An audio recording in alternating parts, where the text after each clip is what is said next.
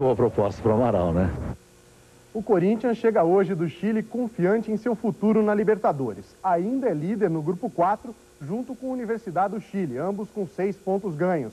Mas perdeu a invencibilidade ontem, exatamente contra a Universidade do Chile, no último minuto de jogo. Os chilenos prepararam uma grande festa. Mais de 55 mil pessoas lotaram o Estádio Nacional. Gritaram do primeiro ao último minuto. Um entusiasmo que levou a Universidade do Chile para o ataque. Atacado, o Corinthians optou pelos contra-ataques. Primeiro com Leonardo.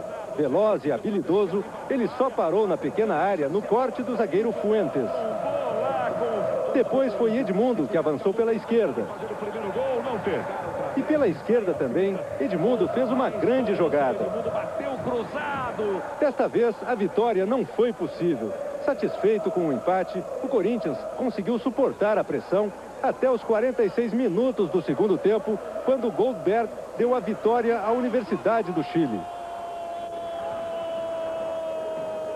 O Corinthians levou apenas 50% dos pontos que disputou aqui no Chile. Mas nem por isso a situação é desesperadora. A equipe decide tudo agora nos jogos de volta aí no Brasil. É, realmente, no Brasil a gente vai reverter, com certeza lá a gente vai para cima e vai conseguir as vitórias. Uma boa tarde para você.